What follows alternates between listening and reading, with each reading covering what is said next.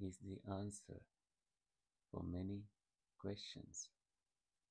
We discuss about it all the time, but let us take a moment to investigate and understand what silence actually means.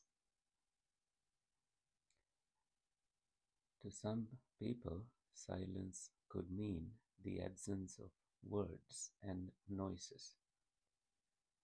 But can there be another silence? There definitely is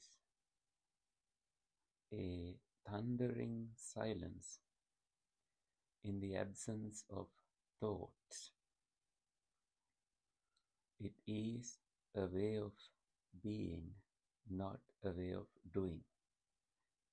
And in that silence, when your thoughts are absent, that you reconnect with your consciousness and you are aware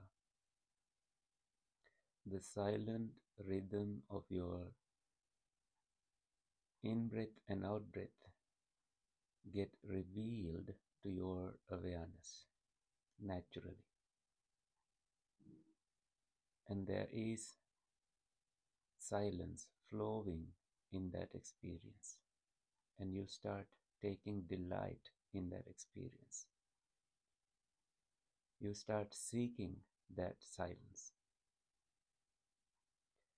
Although most people don't take the time to experience silence in their lives, we need silence as much as we need air. It's like we need light, like the plants do. We all need light as beings to survive. In the same way, we need silence amidst all the noises noise of water, noise of air, noise of humans, animals, birds chirping. In all that that makes noise, we do need inner silence. And the Supreme Buddha spoke about noble silence.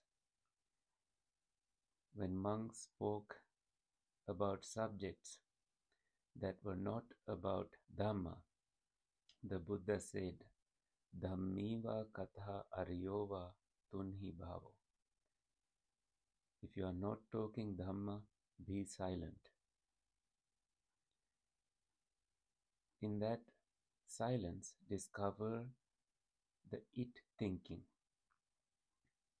When you are stuck, you don't know where to go, your mind will reveal the answer to you in the silence. In that silence, you discover a way of being where there is no disturbance, no noise, no hatred, no jealousy. You see the silence of growing things and the noise of things that are destructive, and you choose the silence to grow in that way of being noise free. There's noise cancellation when you have the proper wisdom to deal with the noises of life.